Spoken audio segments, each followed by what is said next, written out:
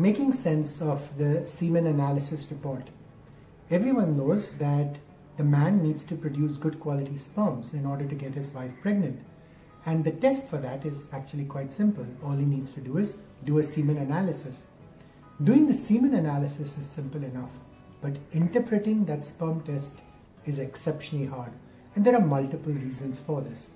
Now, with some reports, it's not hard at all. For example, if the sperm count is zero, which is called azoospermia, then you know the man has a problem. Of course, you also need to remember that lots of labs aren't very careful about doing a semen analysis, and sometimes they'll just casually report it as zero when in fact the man does have a few occasional sperm. So it's important that the sperm sample be centrifuged and the pellet checked for sperms. But let's suppose there are sperms. That's when the problem really occurs because part of the problem is a semen analysis is not a very expensive test, as a result of which lots of labs do it, but they don't do it well at all. The technician is very casual, they don't have the proper equipment, what are called counting chambers, and sometimes they write just whatever they feel like. And this causes a lot of harm for patients, especially because patients get confused, they're not sure whether their report is good or bad they recheck it from another lab, which gives another report, which confuses them more.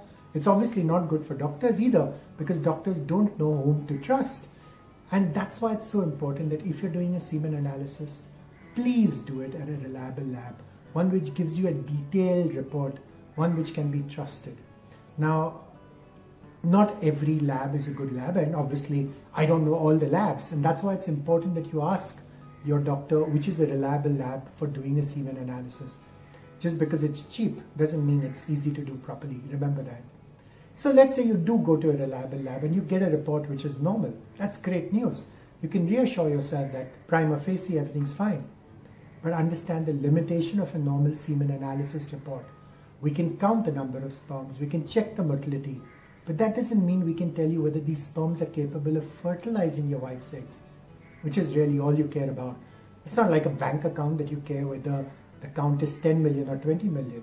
And that's the one question. Can your sperm fertilize your wife's eggs? Which we cannot answer by doing a semen analysis, unfortunately. What if your semen analysis report is abnormal? This again can be a problem. So, rule number one never panic. Never go by just a single abnormal report. It's common sense that you need to repeat it again, preferably from a better lab, and you should wait about six weeks before rechecking because sperm counts do fluctuate and go up and down. If it is abnormal, then yes, you will need to consult an IVF specialist who can explain to you what your choices are. The bad news is there's very little we can do to increase your sperm count either with medication or with surgery. But the good news is that no matter how terrible your sperms, we can use IVF ICSI technology to fertilize your wife's eggs with your sperms in the lab. Confused about how to make sense of your semen analysis report? Not sure what it means? Please reach out to me.